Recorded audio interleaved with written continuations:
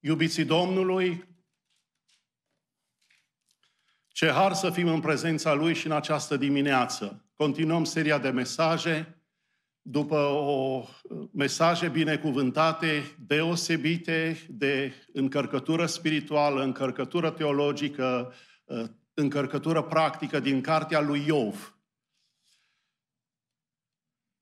Nu mi-a mai fost dat să, să studiez cu biserica cartea lui Iov, chiar dacă sunt în al 33-lea an de slujire ca păstor, dar harul pe care îl am alături de voi în Biserica New Life e de neegalat și mulțumesc Domnului pentru aceasta.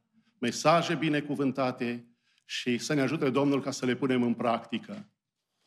De un timp, iată, ne pășind prin credință într-o altă carte, într-o altă scriptură uh, a Bibliei, Evanghelia după Marcu, sub genericul pe urmele lui Hristos. Cum v-a fost umblarea în ultimele săptămâni pe urmele lui Hristos? Pentru că ceea ce învățăm duminica și joia, noi trebuie să punem în practică, deci să pășim pe urmele Lui, în acord cu ceea ce învățăm. Și prin călăuzirea Duhului Sfânt, în această dimineață vom vedea experiența pe care a avut-o fruntașul sinagogii numit Iair și să vedem care va fi și experiența noastră. Pentru început, să fiți cu luare aminte că va fi ceva provocator. Tată,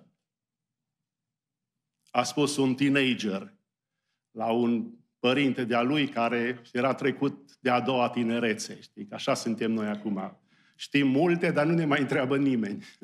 Nu mai corespundem. Tată, tu știi că noi astăzi folosim la școală smartphone, iPad și laptop?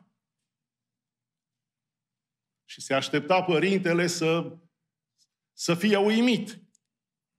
La care tânărul întreabă, voi ce foloseați pe timpul vostru? Fiule, pe timpul nostru ne foloseam creierul.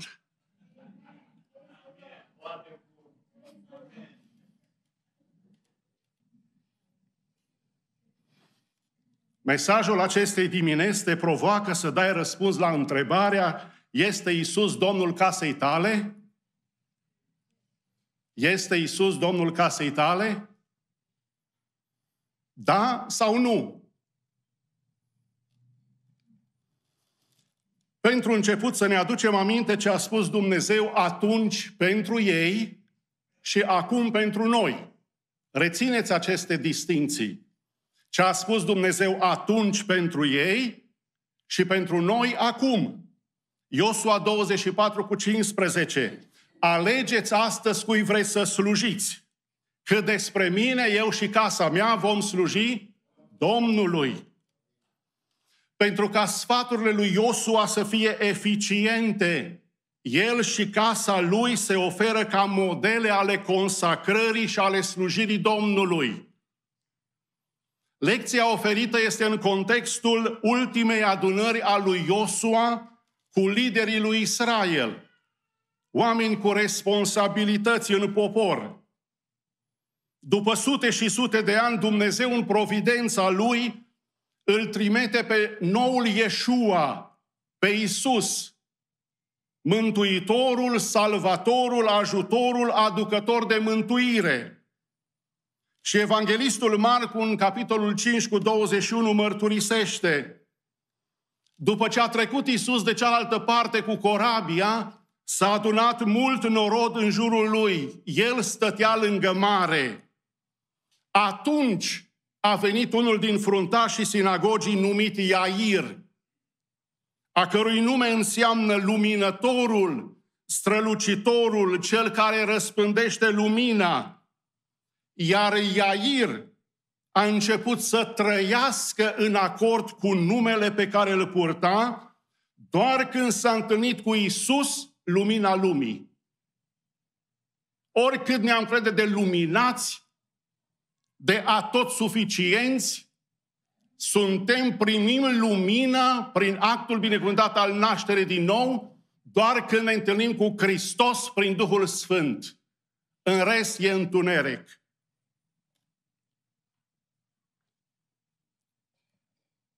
Mare lucru să trăiești în acord cu numele pe care îl ai, de creștin, de om al lui Dumnezeu. Și cum l-a văzut Iair pe Domnul Isus, ne spune cuvântul că s-a aruncat la picioarele lui, la picioarele celui care e calea, adevărul și viața. Tatălui Mardoheu era Iair, Estera 2 cu 5. Și al optulea judecător s-a numit tot Iair, judecător 10 cu 3. Iaire, te întreb în această dimineață, este Isus Domnul casei tale? În scurgerea timpului, de când suntem la New Life, am mai predicat încă de trei ori din acest text, acum este al, patra, al patrulea mesaj, unele idei se vor dubla prin călăuzirea Duhului Sfânt. Îmi aduc aminte, nu știu dumneavoastră, dar întotdeauna predicatorii și aduc mai, minte, mai bine de predicile pe care le primesc din partea Domnului. Întrebarea la primul mesaj era acesta, cum soluționează Domnul Isus problemele ivite? Cum? Că avem toți probleme. Cum le soluționează? Exact. Prin cuvântul divin și prin fapta divină. În text, dacă ne-am merge pe schița aceasta, am vedea prin cuvântul divin. Domnul Isus îi spune lui Er, nu te teme, crede numai. Indiferent prin problemele prin care trecem, cuvântul ne spune și în această dimineață, nu te teme, crede numai. Și prin cuvântul divin, prin fapta divină, Citim în cuvânt, a apucat-o pe fetița lui Iair de mână și a zis, Talita cumii, care tâlmăcit însemnează fetiță, scoală-te, îți zic. Și întotdeauna cuvântul divin și fapta divină fac priză în persoana și lucrarea Domnului Isus. Pentru un răspuns pozitiv, de această dată, în primul rând, se cere să te arunci la picioarele Lui, la picioarele Domnului Isus. Versetul 22. Cum l-a văzut fruntașul s-a aruncat la picioarele lui. Ultima, prima și ultima soluție. Tristețea lui Air n-avea margini. Avea de ales între viața lui și viața fetiței lui. Pentru că un fruntaș al sinagogii proșternut la picioarele lui Isus risca să fie dat afară din sinagogă. Marcu, capitolul 5, ne prezintă trei oameni care au avut același numitor comun. Toți au avut un lucru comun. Toți trei erau la picioarele lui Isus. Omul care a fost eliberat de Duhul necurat, Marcu 5 cu 15, șezând jos, îmbrăcat și întreg la minte. Marcu 5 cu 22, fruntașul sinagogii, fruntașul s-a aruncat la picioarele lui. Și femeia care a fost vindecată de boala lui, boala ei, Marcu 5 cu 33, toți trei au avut acest lucru în comun, s-au aruncat la picioarele Domnului Isus. A venit de s-a aruncat la picioarele lui. Când ai acest îndemn să te arunci la picioarele Domnului Isus, înseamnă că îi dai întreaga autoritate lui. Și nu-ți mai pasă ce cred alții. Când te arunci la picioarele lui Isus, nu te uiți nici atât dacă îmi stă cravata bine, dacă îmi sunt pantalonii călcați, dacă fustița să mă acopere picioarele, ceea ce e indicat. Când te arunci la picioarele Domnului Isus, nu mai contează ce ești tu, ci contează ce este El.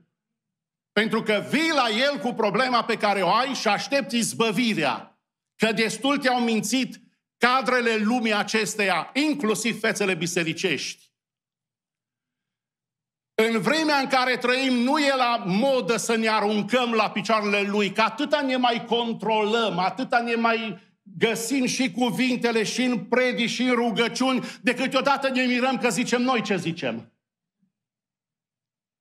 Când te arunci la picioarele lui Isus, Isus Hristos îți vede, îți penetrează sinceritatea și tu nu te vei ridica de la picioarele lui așa cum te-ai aruncat. Te arunci cu povară și te, cor, te scoli eliberat. Aceștia sunt doar trei dintre oamenii care au venit la picioarele lui Isus în timpul slujirii lui aici pe pământ.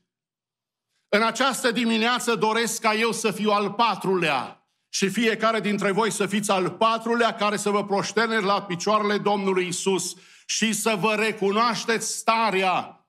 Pentru că vrem ca Domnul Isus să fie Domn și Dumnezeu în fiecare casă de la New Life și în fiecare casă de la copiii răscumpărați prin jertfa Domnului Isus din întreg Phoenixul și din întreaga lume. Pentru că autoritatea supremă în casele noastre trebuie să o aibă Isus. Vreți și voi aceasta? Iair a avut nevoie de foarte mult curaj pentru a veni la Isus, deoarece cei mai mulți dintre liderii religioși erau împotriva lui, iar Iair a avut de ales între propria lui viață și viața fiicei lui. Dacă vrei să-ți cumperi ceva fără să te uiți la preț, atunci trebuie să muncești fără să te uiți la ceas.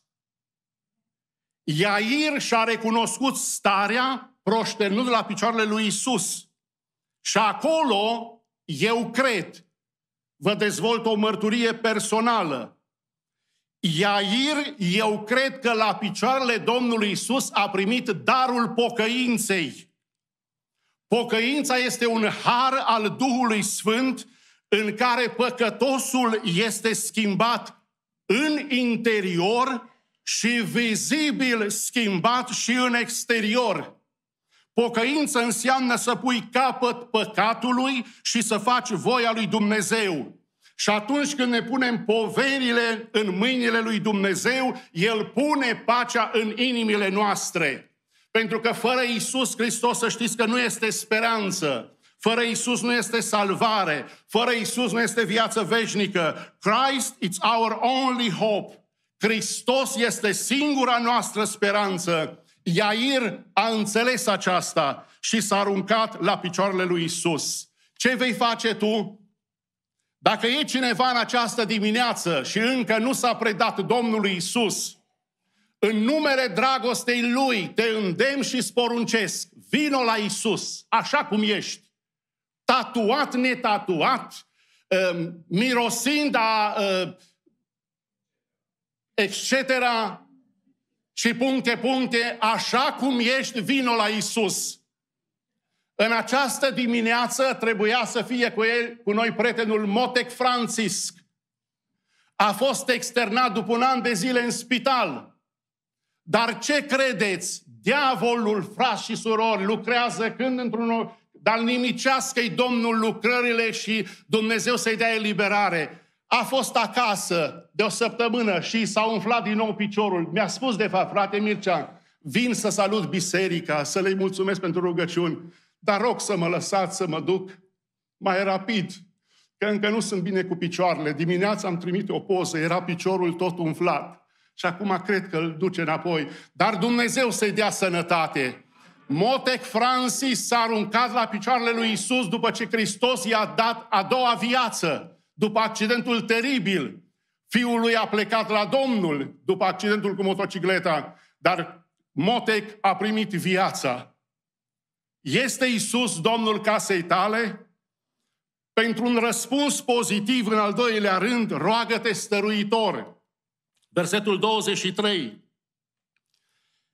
Și i-a făcut următoarea rugăminte stăruitoare. Fetița mea trage să moară. Rogu-te, vino, depuneți mâinile peste ea ca să se facă sănătoasă și să trăiască. Ca să fie Isus Domn în casele noastre, în al doilea rând, e nevoie să ne rugăm stăruitor. După această rugăciune, Isus a plecat împreună cu Iair. Iair nu mai era singur, era Isus și Iair. Glata era și ea acolo, dar de multe ori, cu gloată, fără gloată, n-ai niciun ajutor. Iair era convins că are nevoie de Isus la el acasă și l-a invitat. Și a încredințat prin rugă stăruitoare viața lui și viața fiicei în mâna lui Isus. Dacă tu te rogi doar când treci prin probleme, tu însuți ești în probleme. Sau vii la biserică sau la timpul de rugăciune numai când ai ceva, o problemă.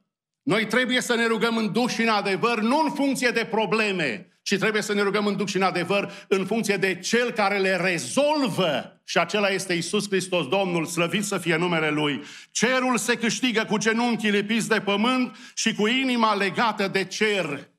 Pentru binele tău rămâi dependent de Dumnezeu. Continuă să te rogi chiar dacă Dumnezeu nu îți răspunde. El tace pentru a te asculta. Pe unii nu le-a răspuns la rugăciuni în timpul vieții, dar copiii lor s-au predat Domnului pe margine de groapă, pentru că avem un Dumnezeu specializat în lucruri imposibile. Nu rezolv nimic prin îngrijorare, dar poți rezolva totul prin rugăciune și credință. Iair s-a rugat săruitor. Cum ne rugăm noi? Care e pulsul vieții tale de rugăciune? Spurgeon mărturisea, când binecuvântăm pe Domnul pentru bucurile noastre, le prelungim și când mulțumim pentru încercări și necazurile noastre, le scurtăm. Domnul Iisus Hristos în Ioan 16 cu 33 a spus, în lume veți avea necazuri, dar îndrăzniți, căci eu am biruit lumea. Iaire, fii pregătit să îndrăsnești și se vede că ai făcut-o aceasta prin faptul că te-ai rugat stăruitor. Doamne Iisuse, fetița mea trage să moară. Observați, el nu impune la Domnul Isus, nici chiar nu-i poruncește, pentru că el era proști, nu la picioarele lui Isus, dar îl roagă stăruitor cu credință, știind și având încredințarea că Domnul Dumnezeu îl, îl ascultă. Fii pregătit să îndrăsnești prin a-ți identifica strict nevoia. Iair nu s-a rugat fetița altora, copiii altora, ai altora sunt mai răi, Doamne, decât ai mei. Nu! Doamne, fetița mea trage să moară. Pentru că atâta timp cât nu cerem Dumnezeu să ne curățească problemele din casele noastre, atâta timp, frați și surori, să nu ne așteptăm ca El să lucreze în mod miraculos. Pentru că îndrăzneala pe care o avem la El este că dacă cere ceva după voia Lui, ne ascultă. La 1 Ioan 5 cu 14 spune cuvântul. Dăm voie să vă întreb în această dimineață, dacă ne-am face o, o analiză spirituală a caselor noastre, cum e starea acolo? Ce se întâmplă cu adevărat în miezul familiei tale?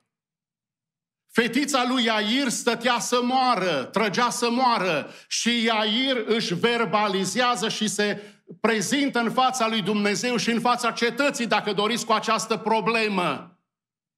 Ce se întâmplă în casa ta? Că până să audă slujitorii bisericii și să ni se ceară să mijlocim în rugă, lucrul acela mocnește și dacă nu intervenim prin cuvântul sfânt și prin rugăciune, nu dă rezultat bun.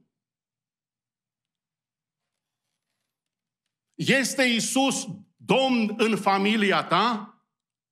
Sau dacă ar fi să te întreb din punct de vedere spiritual, în casa ta este cineva care trage să moară?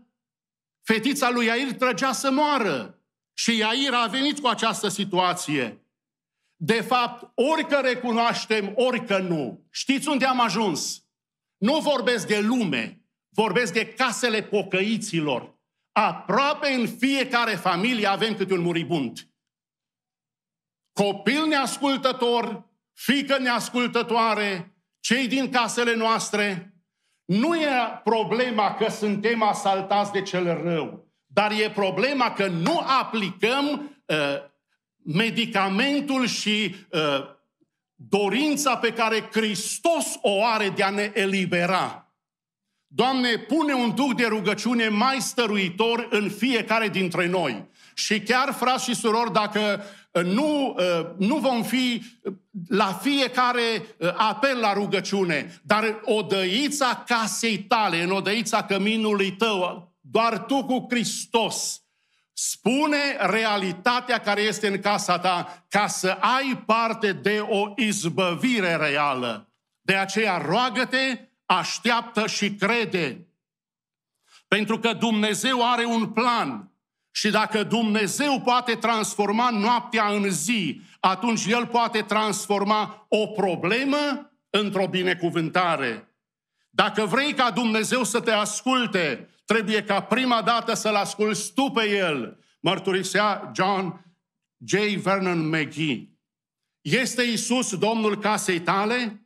Pentru un răspuns pozitiv trebuie ca în al treilea rând să vezi ce vede Isus. Versetele 38 la 42.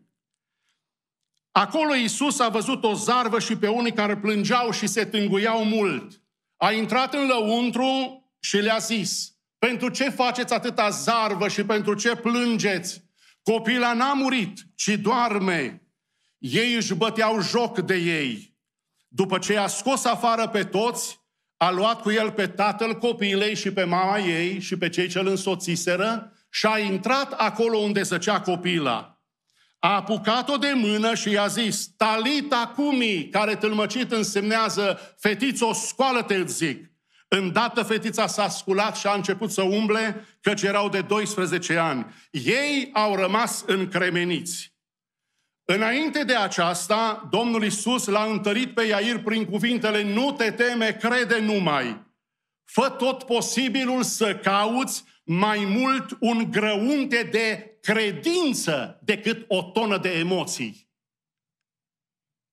Pentru că noi de multe ori punem locomotiva emoțiilor în frunte și după aceea tre- garnitura care urmează.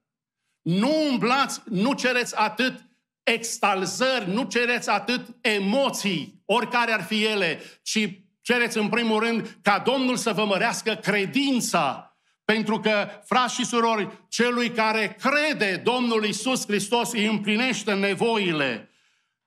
Când pleci cu Isus, să știi că nu te... Uh, nu ți se dau la o parte obstacolele. Obstacolele au început să vină chiar când Iair mergea spre casă cu Domnul Isus.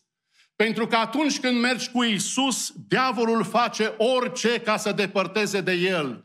Dar când ajungem la limita puterilor noastre, începem să o cunoaștem pe cea lui Dumnezeu. Și acum era Isus Hristos care penetra în viața lui Iair, era Isus Hristos care a preluat comanda, era Isus Hristos care a fost gata să-i răspundă rugăciunii stăruitoare pe care a, a înălțat-o. Dar Isus ne spune cuvântul că a văzut o zarvă. Înțelegem aceasta din cuvântul sfânt. Dar Isus Acolo Iisus a văzut o zarvă, versetul 18, și pe unii care plângeau și se tânguiau mult. Tu vezi ce vede Iisus? Domnul Iisus a văzut în casa lui Air o zarvă. Nu spune că la tine toate sunt roze și pe panseluțe, când e zarvă, e tânguială mare, e durere acolo. Dar când intră Isus și domnește, zarva pleacă forțat, nu de bunăvoie. Revin la ideea primă. Tu vezi ce vede Domnul Isus în casa ta? Domnul Isus vede zarvă, Domnul Isus vede probleme și tu spui, Doamne, la noi totul e colț de rai. Doamne, ce binecuvântat mi-e căminul. Măi, nu mai minți măcar. Lasă-l că și așa Domnul Iisus vede. Și dacă ți-e rușine că te aud frații că ai probleme în casă, nu le spune Domnului în fața bisericii, dar spune-le în odăița ta și se va vedea schimbarea. Altfel lucrurile degenerează și se duc din rău în mai rău. Ca să fie Iisus Domn și Dumnezeu în casa ta, se aude și în spate. Se aude, nu? Măcar dați din cap ca să vă știu că sunteți atenți. Lavă Domnului, mi-a făcut și cu mâna. Mai am încă câteva minute. să vedeți ce vede Isus. Isus a văzut o zarvă. Frați și surori, din trecut nu se trăiește, din trecut se învață. Și în casa lui Iair și în casele noastre, în loc de moarte, Isus aduce viața. În loc de ură, Isus aduce iubire. În loc de dezbinare, Isus aduce unitate. În loc de conflict, Isus aduce pacea. Puneți-l pe Isus la încercare și nu veți fi dezamăgiți. Uneori Domnul liniștește furtuna alteori El decide să ne liniștească pe noi în timp ce trecem prin ea, zicându-ne și nouă, nu te teme, crede numai. Dăm voie să te întreb spre final din nou, este Isus Domnul casei tale?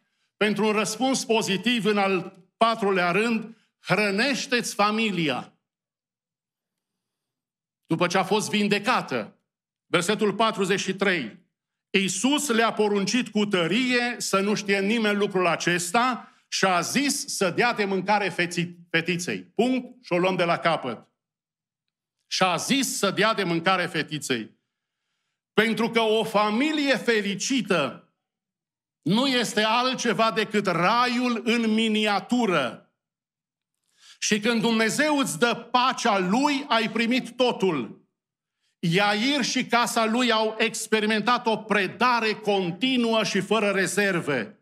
Asta înseamnă ca să-L faci pe Isus mântuitorul tău personal și Domnul casei tale.